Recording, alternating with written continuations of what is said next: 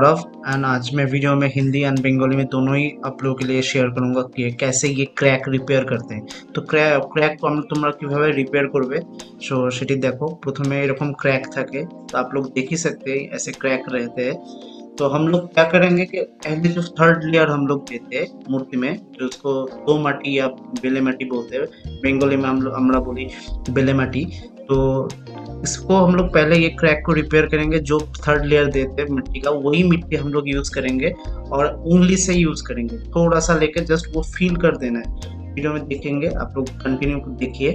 तो तुम लोग जस्ट যে जो আঙুলে দিয়ে নিবে এবং এভাবে জাস্ট লেয়ারটাকে জাস্ট ফিল করে দিবে বেশি মাটি নিবে না জাস্ট আঙুলে অল্প মাটি নিয়ে এভাবে ফিল देखिए पहले कैसे करना होगा।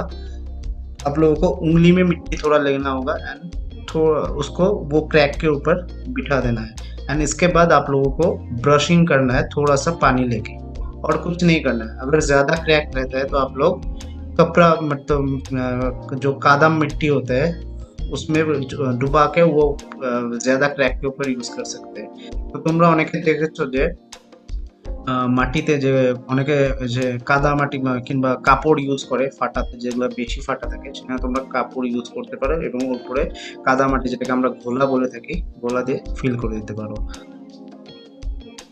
तो मेरे बहुत सारे मतलब व्यूअर्स थे दूसरे स्टेट से वो लोग बोल रहे थे, आप हिंदी में कन्वर्सेशन करो।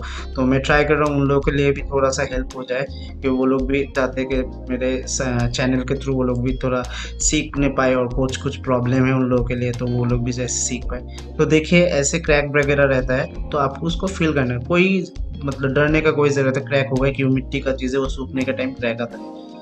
তো তোমরা জাস্ট দেখে দেখে যেখানে যেখানে ক্র্যাকটা থাকবে, ওই জায়গাটাই দিবে। আর কোনো এক্সট্রা জায়গায় দিবে না, এরপরে জল ব্রাশ করে দিবে, হয়ে যাবে কমপ্লিট এতে ভয়ের কোনো কারণ নেই জাস্ট ক্র্যাক হতো শুকাবে, মূর্তিকে প্রথমে ভালো মতো শুকিয়ে নেবে। না শুকালে কখনোই ক্র্যাক রিপেয়ার করা যাবে না। শুকানোর পরে তোমরা ক্র্যাক রিপেয়ার করবে। তারপরে আর কোনো ফাটার কোনো চান্সই থাকবে না। আর এরপরে তোমরা জল ব্রাশ করার পরে, এখন গোড়াল নিচে হালকা ফাটা ফাটা থাকে, এই সমস্ত দেখে দেখে তোমরা ক্র্যাক রিপেয়ার করে নিবে। অ্যান্ড এগুলো করার পরে তোমরা এরপরে রং করতে পারো, কোনো অসুবিধা নেই। তো যারা এখনও সাবস্ক্রাইব করনি, আমার চ্যানেলকে অবশ্যই সাবস্ক্রাইব করবে। আর নতুন ভিডিও আমি ঠিক কন্টিনিউয়াসলি দিতে পারছি প্রচণ্ড কাজের চাপ।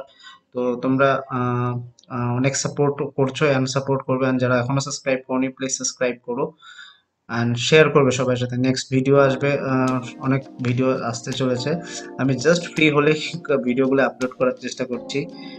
তো দেখুন এই যে ব্রাশ করা হচ্ছে আপক দেখিয়ে ऐसे ब्रश करना है। सिर्फ़ पानी लेके उसके जहाँ पर जहाँ पर क्रैक है, वहाँ पर ऐसे ब्रश कर देना है और कुछ नहीं करना है। इसके बाद वो क्रैक रिपेयर हो जाता है। तो ऐसे इसके बाद आप लोग कलर कर सकते हैं।